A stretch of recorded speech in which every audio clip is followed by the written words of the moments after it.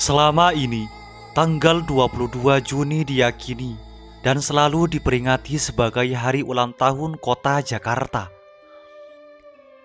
Tanggal tersebut merujuk pada hari ketika pasukan gabungan Demak Cirebon yang dipimpin oleh Fatahillah berhasil mengusir Portugis dari Sunda Kelapa pada 22 Juni 1527. Sejak saat itu, nama Sunda Kelapa diganti menjadi Jakarta. Namun setelah berabad-abad berlalu, ternyata ada yang tidak sepakat dengan penetapan tanggal 22 Juni sebagai hari jadi Jakarta tersebut. Salah satu orang yang menentang keras hal itu adalah Ridwan Saidi yang dikenal sebagai tokoh sekaligus budayawan Betawi. Menurut Ridwan Saidi, pada tanggal itu pasukan gabungan Kesultanan Demak dan Cirebon tidak hanya memerangi bangsa Portugis saja, tetapi juga membantai penduduk asli Sunda Kelapa, yakni orang-orang Betawi. Dari situlah ia tidak rela kalau tanggal 22 Juni 1527 ditetapkan sebagai hari lahir Jakarta.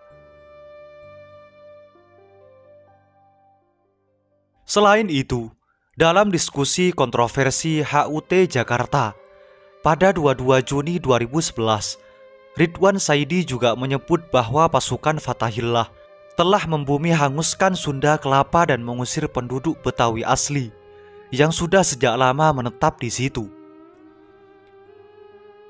Mereka membakar rumah kami, mengusir kami sehingga kami harus menyingkir ke balik-balik bukit. Kok malah dijadikan hari jadi kota?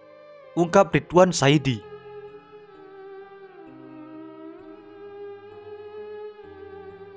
Penulis buku profil orang Betawi, asal muasal kebudayaan dan adat istiadatnya yang diterbitkan tahun 1997 ini juga menentang klaim Fatahillah yang selama ini dipercaya sebagai orang yang mencetuskan nama Jakarta untuk menggantikan Sunda Kelapa.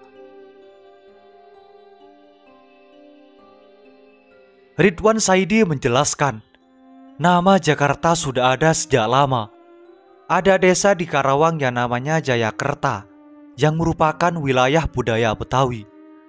Itu sudah ada sejak zaman Siliwangi.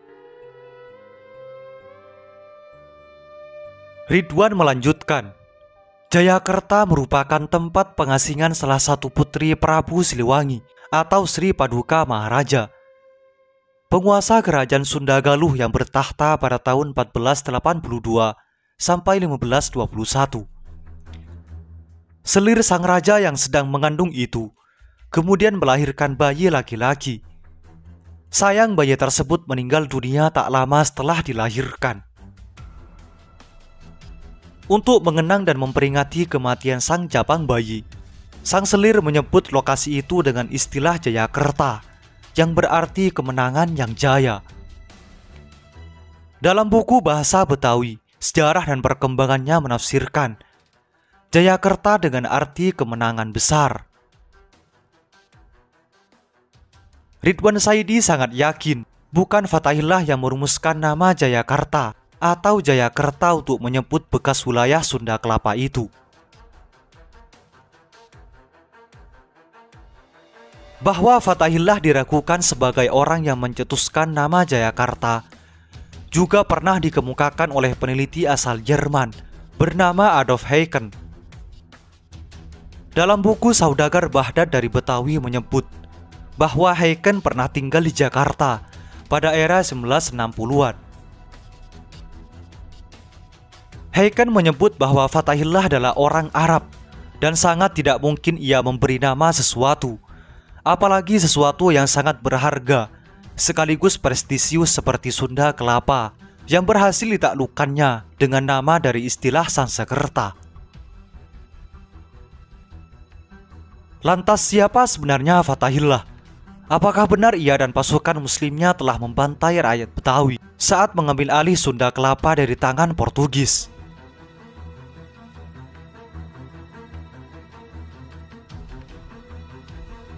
Identitas dan asal-usul Fatahillah sendiri sebenarnya masih menjadi misteri.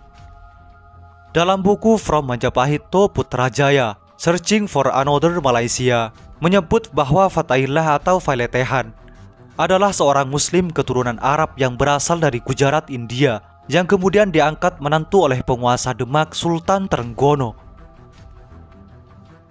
Ada juga yang meyakini Fatahillah adalah seorang pedagang sekaligus guru agama dari Aceh. Ia meninggalkan Samudra Pasai ketika kerajaan Islam pertama di Nusantara itu dikuasai oleh Portugis pada tahun 1521 dan merantau sampai ke Demak. Disebutkan pula, Fatahillah pernah bermukim di Mekah untuk memperdalam ajaran Islam.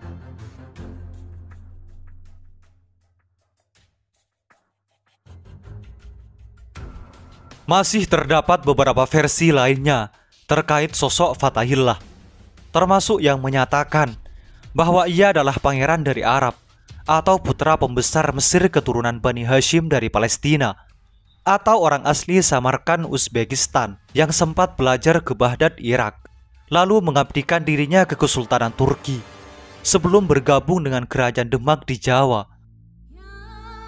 Bahkan ada sumber yang menyebutkan Fatahillah adalah orang yang sama dengan Syarif Hidayatullah atau Sunan Gunung Jati seperti dalam buku Runtuhnya Kerajaan Hindu Jawa dan Timbulnya Negara-Negara Islam di Nusantara karya Selamat Muljana.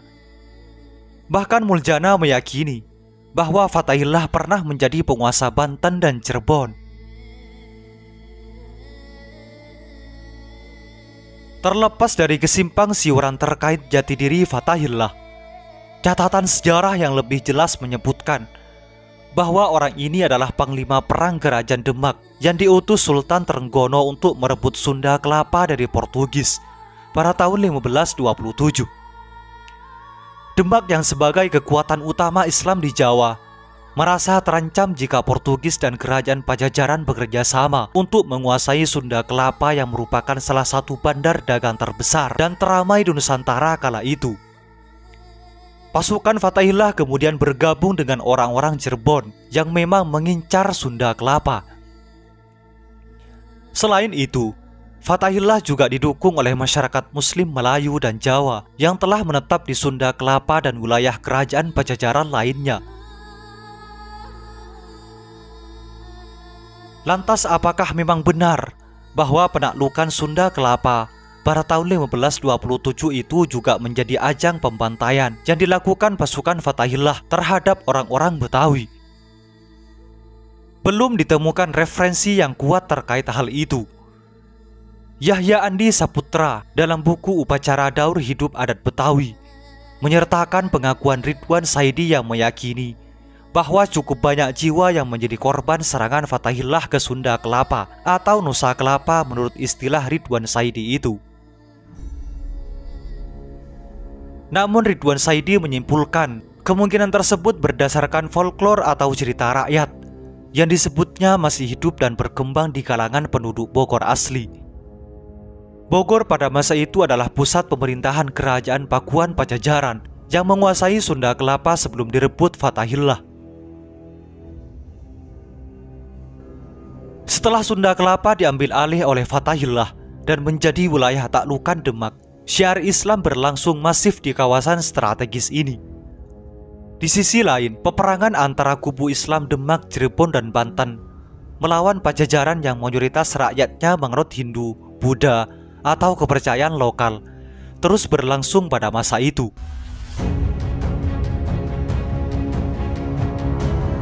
Rumusan ditetapkannya tanggal 22 Juni 1527 sebagai hari lahir Jakarta sendiri digagas oleh wali kota Jakarta pada tahun 1953 sampai 1958. Berdasarkan hasil penelitian tiga orang ahli, yakni Muhammad Yamin, Dr. Sukanto, dan Sudarjo Jokro Siswoyo yang mewujud dalam naskah berjudul Dari Jayakarta ke Jakarta. Silang sengkarut terkait hari lahir Jakarta belum tuntas hingga saat ini. Tidak sedikit peneliti yang akhirnya menyerah karena selalu kesulitan dalam upaya menemukan kapan sebenarnya milad ibu kota RI itu patut dirayakan. Adolf Heiken pernah berucap, Hari jadi Jakarta hanyalah sebuah dongeng hayalan. Itulah sejarah hari lahir Jakarta. Semoga ini menjadi wawasan bagi kita semua dan menjadi pelajaran atau pengetahuan bagi masa yang akan datang. Semoga informasi ini bermanfaat. Assalamualaikum warahmatullahi wabarakatuh.